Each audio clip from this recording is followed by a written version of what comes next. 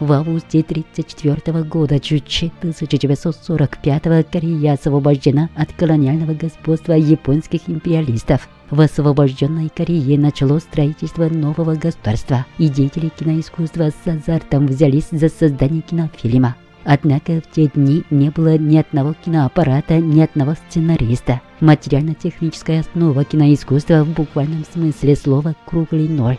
Несмотря на это, корейские кинематографисты со страстью взялись за творческую деятельность под руководством Ким Ир Сена, говорит секретарь Центрального правления Союза корейских деятелей киноискусства О Сung Чоль.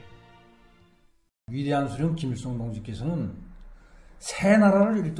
Ким Ир Сен, который уловил место и роль кинофильма в строительстве государства, обращал глубокое внимание на создание первого кинофильма Новой Кореи. Когда вышел эскиз сценария, он познакомился с ним до мелочей и дал мудрый совет насчет темы и содержания фильма. А когда вышел кинофильм, он больше всех обрадовался и посетил киностудию, чтобы поздравить творческих работников. В 1938 году Чуче 1949 вышел первый после освобождения страны художественный фильм «Мой родной край».